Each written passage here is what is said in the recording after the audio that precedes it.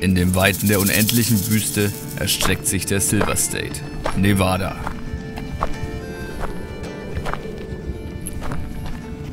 Benannt nach den majestätischen Bergen, die stolz durch die karge Landschaft ziehen, befinden wir uns im wahnwilden Westen der Vereinigten Staaten. Dort, wo die Himmel unendlich weit sind und die Stille durchbrochen wird von entfernten Donnern, liegt ein Ort, der wie ein leuchtender Stern in der Finsternis erscheint. Es passiert wirklich genau da. Es ist Amerika.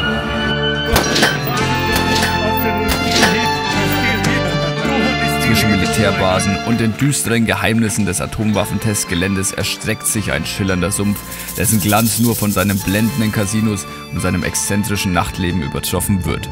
Doch hinter der Fassade des Reichtums verbirgt sich eine Welt voller Gegensätze, Armut, Kriminalität und Betrug. Willkommen in Las Vegas, der Stadt, die niemals schläft. Hier, wo die Träume groß und die Risiken noch größer sind, beginnt jede Nacht eine neue Legende und jede Dämmerung birgt neue Abenteuer. Herzlich willkommen im wunderschönen Venedig. Ich zeige euch mal, wie es hier aussieht. Naja, so ähnlich. Ich bin in Amerika, Las Vegas, spontan eingeladen und springe dort für Lars seine Begleitung ein. Als ehemaliger Soldat und Outdoor-Creator liegt mir das Thema nahe, also steht dem nichts im Weg. Was den meisten Leuten nicht klar ist, dass ganz Vegas hier ist aus Pappkarton. Heute gebe ich euch einen exklusiven Einblick in eine Messe, wo sonst nur Behörden und Leute, die irgendwie in dieser Szene arbeiten, mit zu tun haben. Auf 800.000 Quadratfuß, also 74.322 Quadratmeter oder wie auf der Website beschrieben, 547 F-16 Kampfjets, die Amis tun auch wirklich alles, um das metrische System zu vermeiden, befinden sich 2500 Aussteller von Socken bis gepanzerte Fahrzeuge. Das Ganze teilt sich in drei Hallen auf und bringt ordentlich Meter in die Beine. Die schiere Größe und Vielfalt dieser Messe ähm, an Produkten, Menschen, Raum und Zeit ist kaum greifbar zu machen. Hier gibt es allerlei Knallstücke, kleine alte, mittlere, ja auch alte und große neue. Simulatoren, Roboter, aber auch ganz normale Ausrüstung, Taschenrucksäcke und so weiter. Einfach für jeden was dabei. Willkommen hier beim Bogenschießen. Wir werden jetzt mal ein paar Pfeile versenken.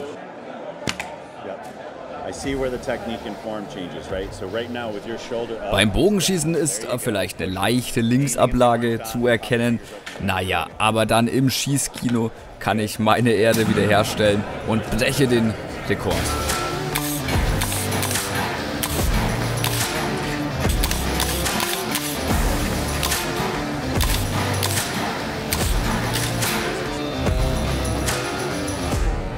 Very cool. Thanks for coming by. Hey, thank you for having me. You bet. Schaut mal, der Lars hat heute ein wichtiges Geschäftsmeeting und deswegen hat er sich als BWL-Justus verkleidet.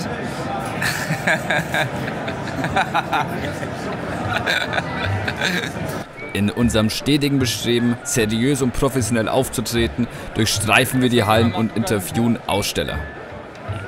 Hi Nadja, nice to meet you. Hello, nice to meet you. So, uh, tell me something about your company. Cellmark is a optics producer from uh, Texas, US. We have everything for everyone related to the optics and uh, accessory part. Amazing. Thank you for your time. Nice to meet you. See It was nice to meet you. Ja, die SHOT Show 2024 ist zwar primär eine Messe für Schusswaffen, aber auch hier versammeln sich namenhafte Hersteller aus der Textilbranche. Hinter uns der Stand von Tasmanian Tiger. Der absolute Outdoor-Klassiker unter den Rucksäcken ist der Tasmanian Tiger Raid Pack. Jeder, der mit Bushcraft, Survival, Outdoor, Wandern oder irgendwas zu tun hat oder damit anfangen möchte, ähm, von den Rucksäcken habe ich mehrere Generationen schon gehabt, benutzt und es ist einfach der absolute Klassiker. Hat ein gutes Tragesystem, ein gut gepolstertes, ausreichend Platz. Ihr habt es auch auf dem 400 Kilometer Marsch gesehen mit Tom. Der hatte auch diesen Rucksack in Benutzung, weil das Ding kann so ziemlich alles, was man benötigt, kann man absolut nichts falsch machen. Ich verlinke euch den Rucksack einmal und ist ein Affiliate-Link. Wenn ihr dort bei Survival Tech hier kauft, dann bekomme ich ein paar Prozent und ihr unterstützt damit den Kanal.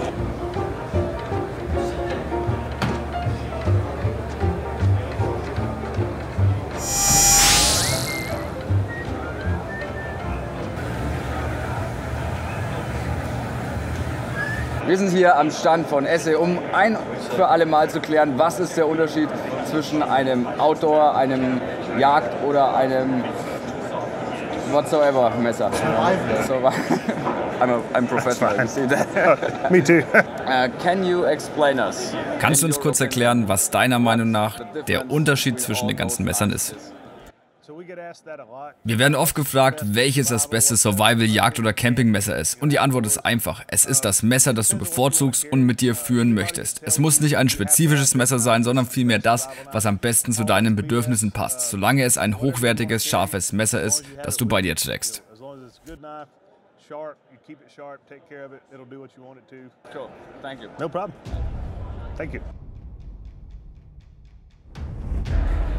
Wir machen uns weiter auf die Suche nach den wirklich abgefahrenen Sachen und werden auch fündig.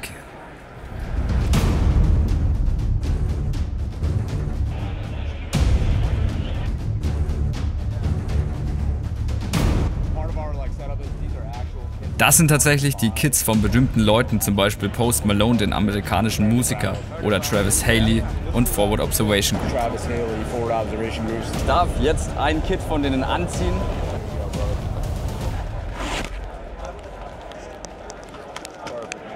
So have multi-channel. Yeah, you get yeah multi-channel. Communication. That's exactly right. Cool. Now you know what you're doing, right? So right there's 16 talk groups. So this is like our Du kannst dein Telefon hier anschließen und telefonieren oder Nachrichten verschicken. screen anywhere. Like drop data packages, send it to you. I can send messages on this.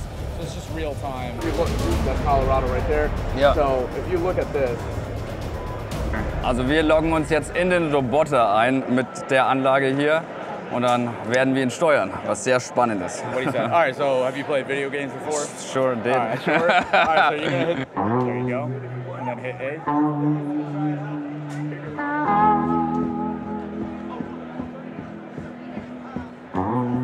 Ich würde mich jetzt nicht gerade als stumpfen Materialisten bezeichnen, aber mit einem 300.000 Dollar Battle-Kit über die Shot Show zu laufen, war schon ein besonderes Gefühl.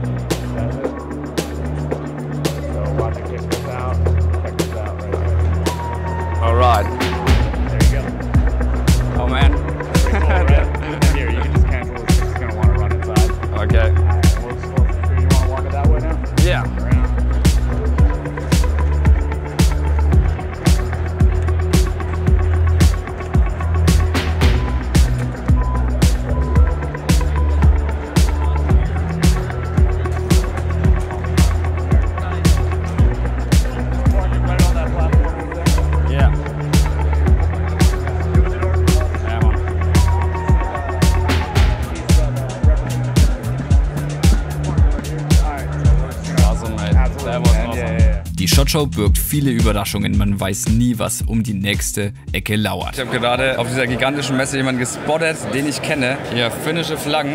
Und ich würde sagen, wir überfallen den jetzt einfach mal. Ja, Freunde, falls ihr euch erinnert an Finnish Brutality, wo ich dieses Jahr war, hier haben wir den Veranstalter von Vados Teleka, Yadi. Nice to meet you. Yeah, nice to meet you. Wie gefällt dir die Shot Show bisher? Es ist wirklich geschäftig, viele Meetings, ich habe jetzt gerade das erste Mal Zeit, mich umzusehen. Ein paar coole Sachen, viele seltsame Sachen, ganz normal. Ich wollte mich noch bedanken für die Einladung zu eurer coolen Party im Mob-Museum. Wir befinden uns jetzt im Untergrund des Mafia-Museums in Las Vegas.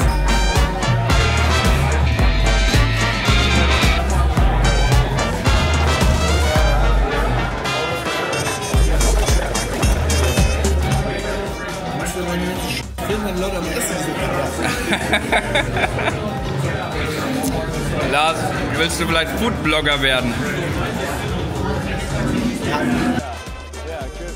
Die Örtlichkeit war gut gewählt. Wenn ihr mal nach Las Vegas kommt, schaut es euch an. Wir haben die Museumstour gemacht und das hat uns die Augen geöffnet. Das ist mein Reisetipp für euch. Pretty eye-opening, so that's my travel trip for everybody. Awesome. Thank Hey, you thank you. Have a good show.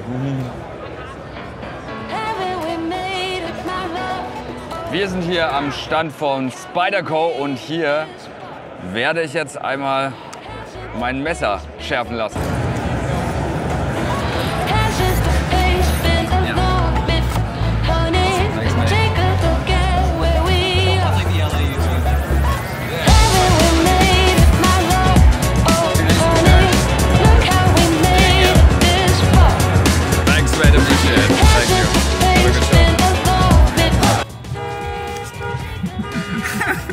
Messen sind einfach das Letzte. So, hört auf! Mittlerweile hupen einfach alle aus Langeweile, weil ähm, ja. Wir haben aber bestimmt schon 25 Meter geschafft. Oder Yards. Hot Dogs per Freedom. Und dann hier 30 Füße links abbiegen und läuft. Wir gehen jetzt zu. Ganz kurz, ganz was, kurz. Was, was, was, was, was, Entschuldigung. Geht sofort wieder los. So, Freunde, es ist 18 Uhr. Wir stehen seit einer halben Stunde hier. Wir sind jetzt noch in der achten Etage. Fahr nach Las Vegas, haben sie gesagt. Das wird super, haben sie gesagt. Erlebst du was? Erlebst du was? Ja, ja. Nein, wir hupen nicht. Ja. Ein kurzer Eindruck von einer langen Reise. Da kommt noch einiges mehr. Wandern in der Wüste, Roadtrip von LA nach Las Vegas, der krasseste Outdoor-Shop und so weiter. Das Kapitel Amerika ist noch nicht beendet. Daumen hoch, Abo raus und Glocke an, wenn ihr nichts verpassen wollt. Ihr seid die Besten und ich bin der Manu.